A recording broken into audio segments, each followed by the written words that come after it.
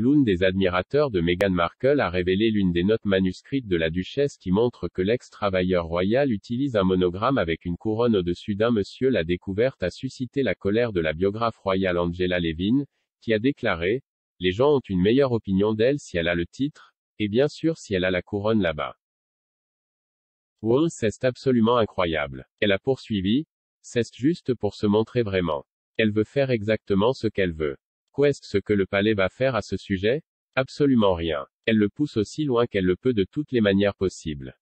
Madame Levin a dit parce que la duchesse travaille dans le monde entier, donc c'est une petite aide fantastique sur le plan politique parce que tout le monde pensera, oh mon Dieu, elle est incroyable, c'est ce qu'elle pense que les gens penseront.